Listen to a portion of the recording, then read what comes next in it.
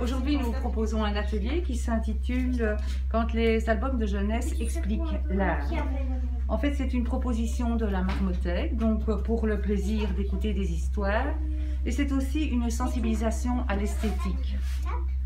En fait, chaque atelier commence par une lecture d'albums qui sont choisis en fonction de la technique que nous allons explorer avec les élèves.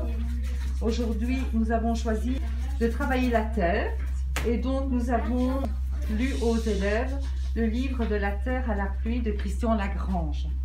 Donc l'auteur illustrateur utilise la technique de la sculpture de la terre et c'est cette technique que les élèves sont en train d'explorer là pour l'instant avec euh, Karine.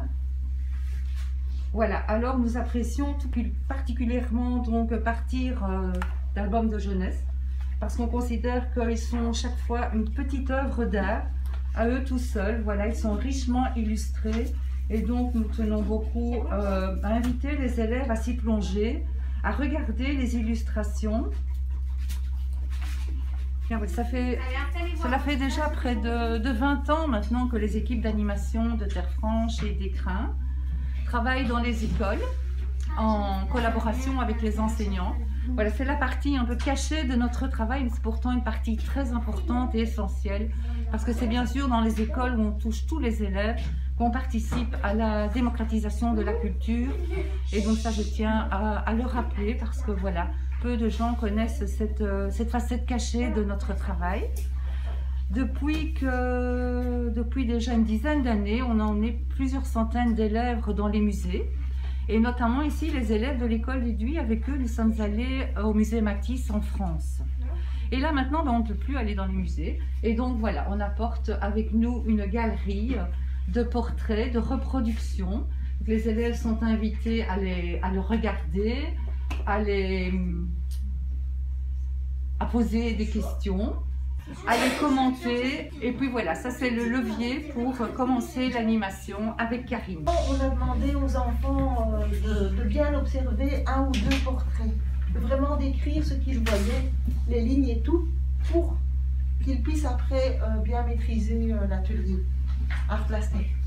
Alors on leur distribue à chacun une plaque d'argile. Ils ont une reproduction d'un portrait. Ils doivent bien centrer leur portrait sur la plaque d'argile et avec un petit euh, picot, ils vont faire tous des petits pointillés sur le contour, toutes les lignes qu'il y a sur, sur le portrait. Je veux dire, comme ils auront tous les repères de leur portrait avec un outil, ils vont repasser sur euh, tous leurs repères pour, pour graver vraiment la, la terre, sculpter la terre. Non, parce que tu vas en avoir après au but quand on va démolir ton trouve l'activité très intéressante parce qu'on peut apprendre plein de trucs euh, intéressants. Et euh, je trouvais que c'était chouette parce qu'on a parlé euh, de peintres, de sculpteurs et de plein de trucs. Et après, j'ai bien aimé quand on a fait, fait ça. c'était chouette. j'ai bien aimé quand on a dû, avec un picot.